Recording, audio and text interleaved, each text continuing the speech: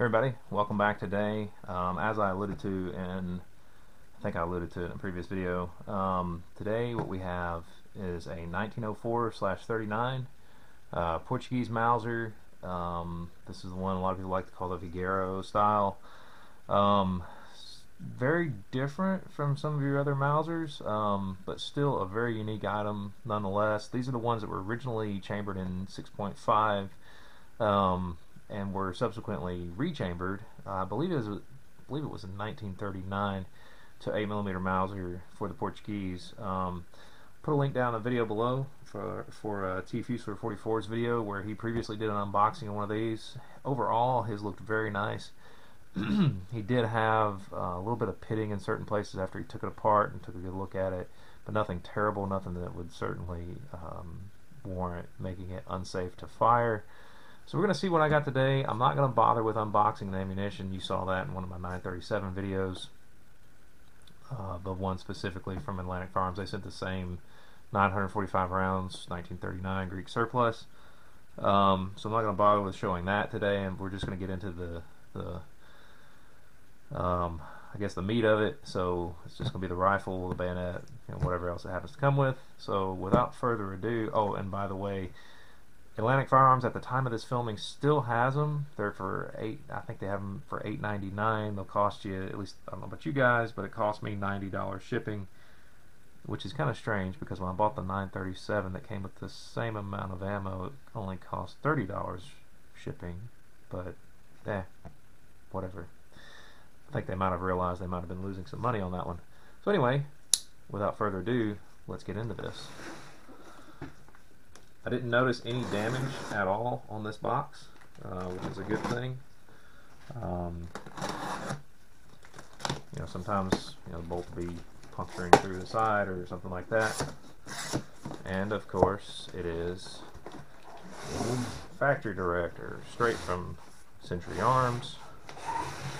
That's where they got these from. Let's put that box aside. A box within a box. You guys might be able to see that label some there. Not really sure. Um, looks as though they got these in on the 5th of um, 5th of December. I can't even talk this morning. So let's open this joker up. I am very curious to see what we got here. See how this one compares with T Fusilier 44s. Um, hopefully quite nice. Of course it could look like absolute crap, but we're going to find out breaking off of my box here. Oh, ah, I see. This isn't the type of box I thought it was. Okay, so this is going to be a little entertaining. Let's get that bayonet out. Let's try to get the rifle out of here. There we go. Hmm. Okay, so since I got that out, I'm going to pause this real quick. I'm going to go grab the blanket, lay it out of the table so you guys can get a good look at this, and I'll be right back. Hey everybody, sorry about that. Um, as I was pulling it out of the box, that's when I came to the realization, it's like, idiot, you didn't put the blanket down. So, my apologies. I definitely wanted to pause it so that we could get a better look at this. Very interesting tag there. Um, so that we can see this a little bit better and you guys aren't dealing with the glare from the table and all this other garbage. So anyway, here we have it. As you guys well know, these are shipped unloaded and I don't know what the crap has happened here with this chamber flag, but dear God, they've done something. Hmm.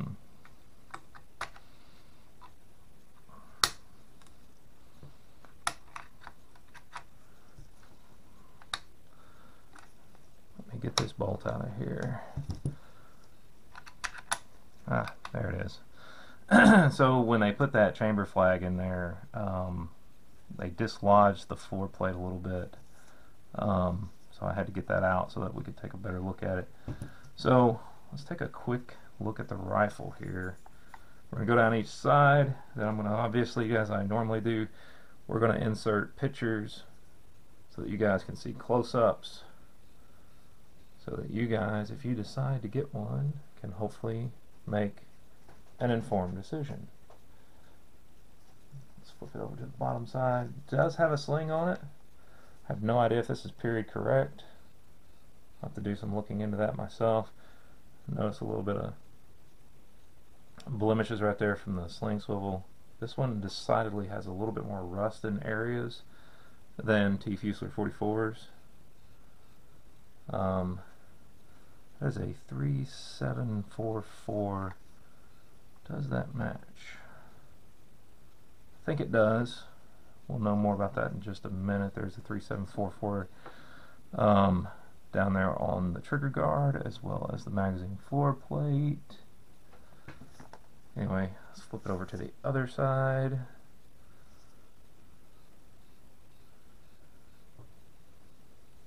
That's kind of ugly. They did add this 1904M to the serial number here. Not really thrilled about that. Of course, as you can see on the bottom side there, there is your Century Arms import mark. Okay, so let's check this thing out. Let's check the bolt. Um, you know, just, just has wear on it. You know, I wouldn't say it's a terrible amount of wear. Um, it's obviously been used some for sure. It's certainly not brand new. So there's a 3744 here on the bolt handle. There's a 44 back here, and I, like I said, I'm going to have pictures rolling on the side up here. There's a 44 right there on the safety flag. Um, I don't know if there's any more numbered parts on this thing. so let's take a quick look at the rifle. The butt plate, um, surprisingly, is not overly rusted. Um, let's see. I do not see that it is actually marked. Um, let's see. The bolt release here is marked 44. So let's look at the rest of the rifle. Um, as I was saying, the trigger guard is marked 44. The magazine floor plate is marked 44 the follower is actually got a different marking. Looks like it's marked with a 5 6.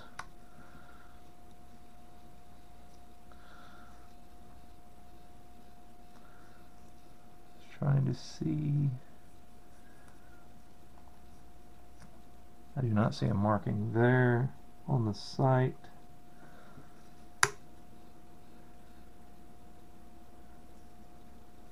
Not sure if the site matches or not. It's kind of strange. Um, be that as it may, let's continue further. Let's see.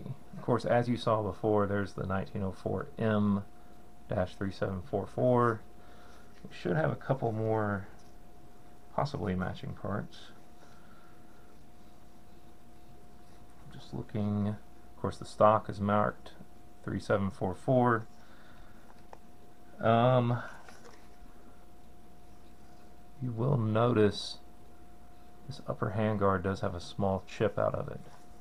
It is a little rusty there, however, it's still all here. I don't see any major major cracks or anything, which is a huge plus. I will note, I'll try to get a picture of this um, as best I can. I know it's not the best lighting. You see that lock screw down there? It's boogered up just a little bit, but nothing terrible. Um, one of the things that I really thought was cool about this Mauser, which most of you guys may not think is so cool, is it's very similar to a Ruger uh, M44. You can see the crease marks where this, you know, thing was stored. But it's very similar to a Ruger M44 in the fact that the magazine floor plate release is right here within the trigger guard, so you simply push that button in and it drops out and you can dump your rounds very quick and easy for unloading. Um, I always enjoyed that about a Ruger M77. Uh, that's my personal hunting rifle of choice. Um, I love the rifles. It's what I grew up shooting. And a very quick, easy way to safe a firearm. Well, actually completely safe a firearm. Um, and I, I, also love the fact that they have a tang safety on the back, but and similar Mauser action. But I'll get some close-ups of this crest here. It's mine is a little bit worse for wear in terms of how it's worn. Um, and then I'll get some pictures of the side here where you can see the markings. Um, I'm not even going to try to pronounce them. Of course, this one was made in Berlin. Um, all in all, pretty decent looking rifle. I mean, if you if you factor out the cost of ammo, which was if you bought it separately was like four hundred dollars, you're essentially paying about five hundred bucks for a Mauser. So, my personal opinion, I don't think that's a terrible. Um, I think that's a terrible deal, um, considering the cost of everything these days. Let's check out this bayonet. Of course, they did state that you know bayonets wouldn't match. Um, it's really strange. I didn't know they had these. So they've got a button on the top, a button on the bottom. It's not buttons. It's just, I guess, I guess it's different from your tension screw that's typically in there. Of course, this bayonet is numbered. Look at it, looks like 6966H. The wood is good. It looks like it's got some of that nasty animal fat stuff in there. The screws look good actual sheath. A few little dings here and there, but overall good shape. Uh, your locking button on the back does work, of course. That's necessary. That's pretty important.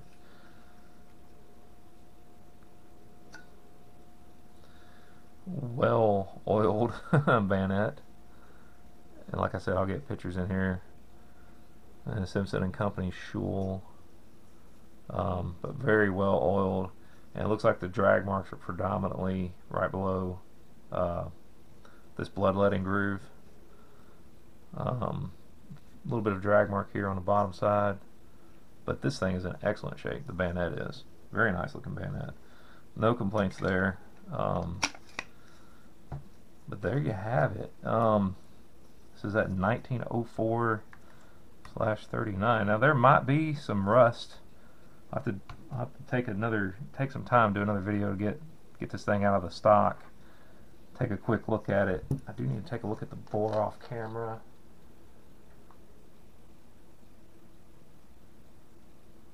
And guys, that is a it is a super mirror bright bore. You'll see the picture up here with an excellent looking rifling in it. Um, I would have no qualms about taking this thing out and shooting it. I mean, it's just a it's not a real expensive rifle, but you know it's not it's not in bad shape. I forgot to say the bolt head is also matched there with a 44. That's pretty slick. Extractor claws in there. Let's put this thing back in.